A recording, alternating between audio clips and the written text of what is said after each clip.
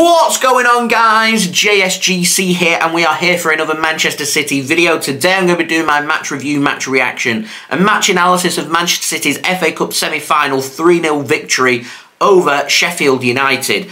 Good win for Manchester City. We'll digest all the talking points in just one moment. But before I do crack on with this video, make sure, like always, if you are enjoying the content, then do subscribe to my channel. It's free. We're on that push to 30,000 subscribers, so any help towards that would be fantastic. Also, don't forget as well, social media links. They're in the description below and sliding across at the bottom of the screen if you want to go and follow me on my Twitter and Instagram. TikTok link also in the description if you want to go and follow me on there. Also, don't forget as well to go check out my email. That's in the description if you want to go and hit me up for any sponsorship for any videos or any general business inquiries. Leave a thumbs up, 100 likes is the aim. Importantly, do let me know your thoughts in the comments below what you made of this victory for Manchester City. Finally, this video is sponsored and brought to you by GT Player. You can go and check out their link. That's in the description. They very kindly sent me this chair that you've seen featured throughout the season. It's a limited edition Manchester City chair. They've got loads of chairs that you can go and check out. So go and check them out. Link is in the description. Remember, use code JSGC5 for 5% off your order. So, let's crack on with this video. We're going to start off first with a big talking point, and that is Manchester City and the rotation and the changes that we made. Now, I spoke in my preview about this game about the potential of Manchester City making potentially nine or ten changes to this game. Pep said in the build-up to this game, the players, they're exhausted, they're tired, they were too tired to celebrate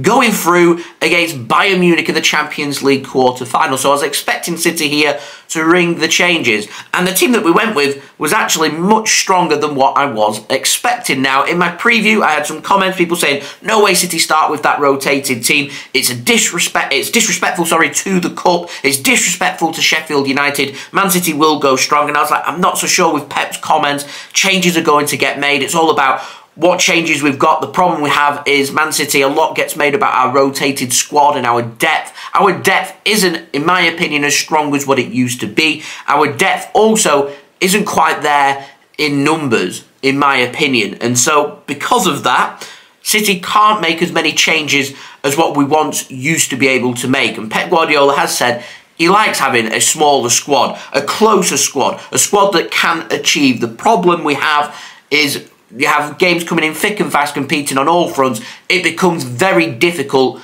to find a good balance for the team to rotate and have enough energy for the important players in the important games. And this game to me was an ideal chance for us to rotate and we haven't rotated as much as what I was expecting. Now what I did see from this game, in my opinion, is Manchester City utilising the fact that we can make five substitutions. I know we only made four substitutions, but as the weeks go on, I have a feeling City aren't going to rotate their team as much against anybody because if we was, it would have happened in this game. And it hasn't happened as much as what was expecting.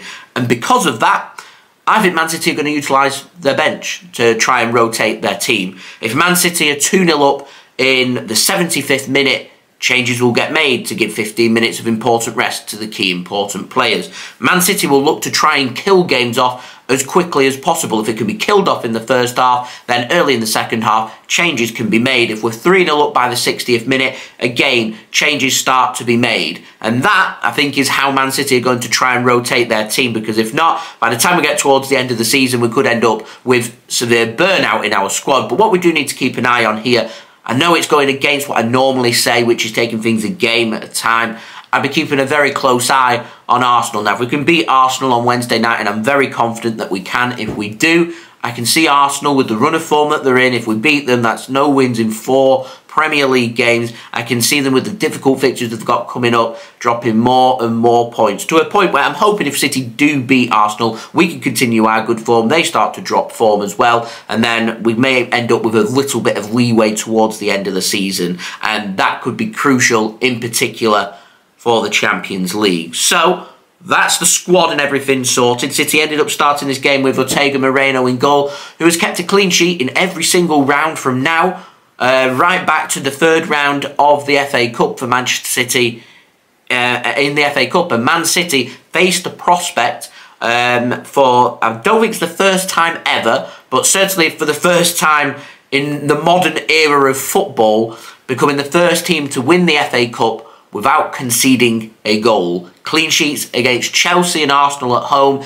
clean sheets against Bristol City away, against Burnley at home, and against Sheffield United here in the semi final at Wembley as well. We face Brighton or Manchester United in the final. They play today, so we'll know who we're going to face on June 3rd at Wembley. So looking forward to that, and we could make some history. I think only one other team has ever kept a clean sheet for a run throughout the FA Cup, and I think that's Preston North End, right back uh, in in the 19th century. So yeah, that's how long ago it is to, to be achieved. And as I said, the first time it can happen in the modern era. So we went with a back three. Kyle Walker on the right hand side, Akanji going through the middle, and Laporte getting a full 90 minutes. Now, we still don't know the extent of uh, Nathan Ake's injury. So Aymeric Laporte could be getting a lot of minutes coming up very soon didn't really put a foot wrong in this game, so pleased with his performance and probably is going to get the nod uh, against Arsenal. Now, very interesting is, is the midfield. Now, I saw some Sheffield United fans commenting on my preview video, enlightening me that their midfield without Tommy Doyle and James McAtee providing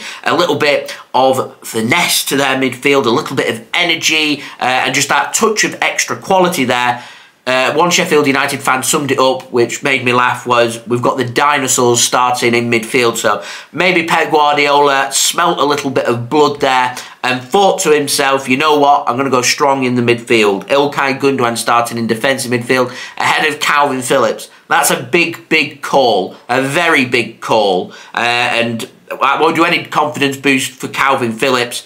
Maybe it's a tactical thing. Maybe it's Man City want to sell him. I don't know. Ilkay Gundogan starting in defensive midfield gives some important rest for Rodri. De Bruyne, again, another player that's looked knackered, gets a full 90 minutes of rest here, which is brilliant. We went with Bernardo Silva on the right hand side.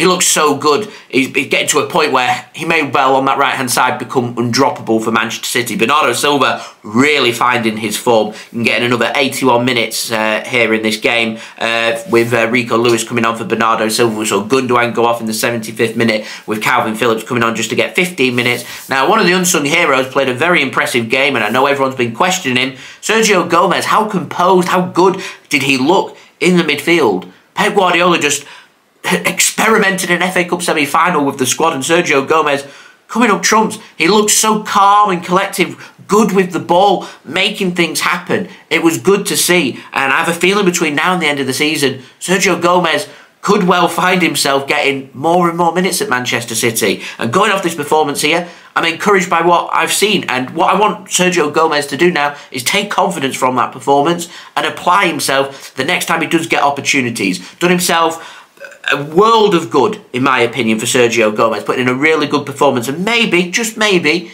Man City finding that Sergio Gomez better playing in midfield rather than at left back or with a back four or playing at centre back or playing in holding midfield. Maybe just giving him a bit of creative freedom in the mid, uh, midfield might just be what we are looking for. Julian Alvarez playing alongside or behind Erling Haaland. Erling Haaland started in this game was a very big call. Again, he got just over an hour uh, under his belt. Phil Foden just coming back from injury. I suspect over the next week or two that he'll start to get some starts. Thought he might have started this game and give him 60 minutes, but uh, there we go. Jack Grealish, another big call. I wasn't expecting to see him start. Uh, Cole Palmer again, uh, not featuring in this game. Another big call as well. Um, so yeah, and uh, some important rest for some other players, including the likes of Ruben Dias and John Stones, which is what we like to see. And the final player I want to speak about, Riyad Mahrez, scored a hat trick. Now, I wanted to say that in the build up to this game, Manchester City and the players that were going out, in particular some of the squad players,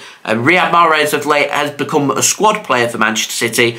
I wanted them to stand up tall, to make it count, and say, I should be starting against Arsenal. I should be starting against Real Madrid at the Bernabeu. I should be starting against Real Madrid at the Etihad Stadium to reach the Champions League final. I should be starting in the FA Cup final. And if we get to the Champions League final, I should be starting in that match. Riyad Mahrez scores a hat trick. To me, Riyad Mahrez should be rewarded for that. He should be starting against Arsenal. The problem is, how do we accommodate that? It means a midfielder has to be dropped because to me, Bernardo Silva is undroppable. So if we're not going to play Bernardo Silva on the right wing, he's going to play in midfield to allow Mahrez to come in. So someone misses out. And Riyad Mahrez, if he doesn't start against Arsenal, he's incredibly unlucky. Riyad Mahrez scored a hat-trick. He sent us to the FA Cup final. Riyad Mahrez is the reason why Manchester City won this game. Riyad Mahrez stepped up and took that penalty, stonewall penalty in the 43rd minute on Bernardo Silva. Mahrez stepped up. Erling Haaland's our penalty taker. Riyad Mahrez says, I'm confident, I want that penalty. Riyad Mahrez misses that penalty. Riyad Mahrez never takes a penalty again for Manchester City, in my opinion. He steps up, not only scores, he scores with the perfect penalty right into the corner of the goal, right into the side netting.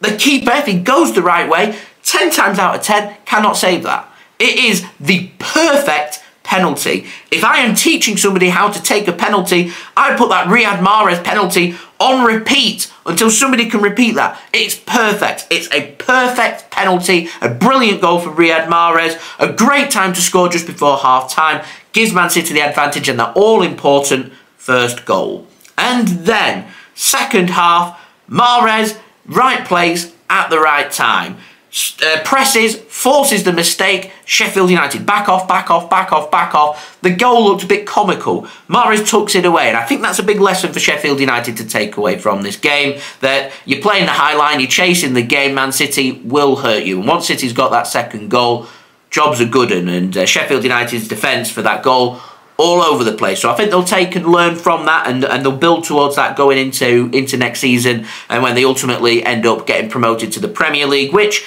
to Sheffield United, not disgraced themselves, 3-0 loss. Burnley lost 6-0 at the Etihad against us in the quarter-final uh, and uh, Burnley currently sitting in first, flying in the Championship, trying to secure to become champions, didn't do it yesterday. And Sheffield United, I think they play Wednesday night against West Brom, have the chance to seal promotion to the Premier League and that to them is important. And they've lost 3 0. It's no disgrace to lose to Manchester City 3 0. They can take confidence from that to go into that game and seal promotion to the Premier League. And I am very confident that they will do so. And I am confident when I say to Sheffield United fans and to the club, We'll see you next season. Looking forward to it. A couple of good games, in particular, a good trip to Bramall Lane. Can't beat a good trip to Sheffield, one of my favourite cities in the whole of the United Kingdom. Now, City wrapped up the deal five minutes later. Riyad Mahrez again, right place at the right time. Ball gets pulled across. He's there in the penalty area with space. Keeper Foderingham gets a hand to it. Goes into the bottom corner. 3 0. Job's a good one we're into the FA Cup final. Now, the only other thing I need to speak about is the fans and all these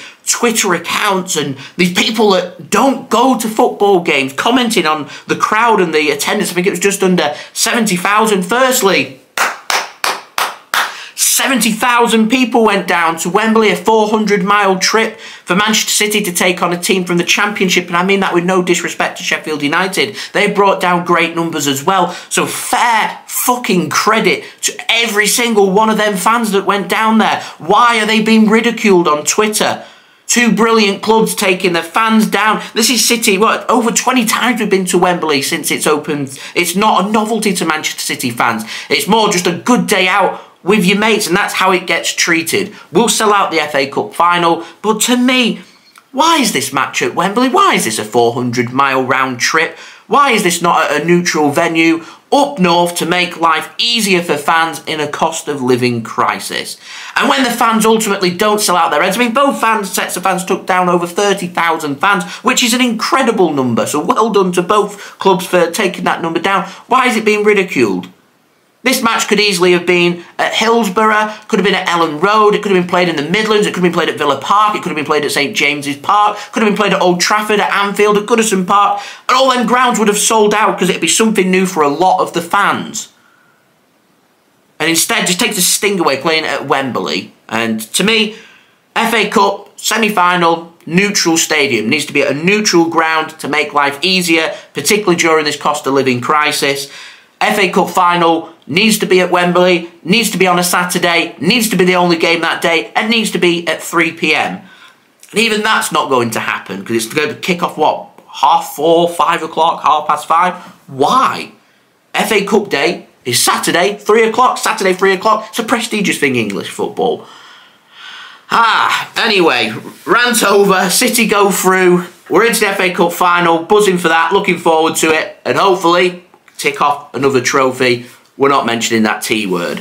So, thank you for watching, everybody. Much appreciated. Uh, don't forget to like the video if you do enjoy the video. 100 likes is the aim. Also, don't forget to let me know your thoughts in the comments below. Subscribe if you're new around here. Press that red button, press the bell, and put your push notifications on. Social media links, they're in the description below and sliding across at the bottom of the screen if you want to go and follow me on my Twitter and Instagram. Email also in the description if you want to go and hit me up for any sponsorships for any videos or any general business inquiries. TikTok link also in the description. I want to say a big thank you to GT Player for sponsoring today's video.